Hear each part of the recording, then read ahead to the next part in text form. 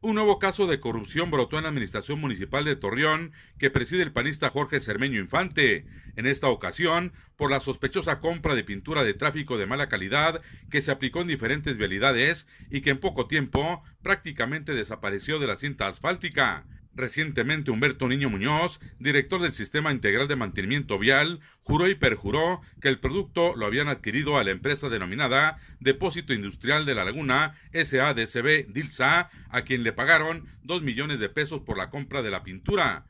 El funcionario admitió que Dilsa los había chamaqueado al venderles un producto que no contaba con las normas de la SCT y aseguró que por ese motivo la empresa fue dada de baja del padrón de proveedores del ayuntamiento. Sin embargo, representantes del establecimiento se deslindaron de ese escándalo y desmintieron a Niño Muñoz al negar haber vendido pintura de mala calidad al municipio y menos por un monto de dos millones de pesos. Armando Salas, apoderado legal de la firma, especificó que de enero a mayo solo han vendido al ayuntamiento poco más de 200 mil pesos en productos y dijo que no fueron dados de baja como proveedores señaló que exigirán al ayuntamiento una reparación de los daños y perjuicios al pretender endosarles una responsabilidad que no le corresponde y que además afecta la imagen de la empresa.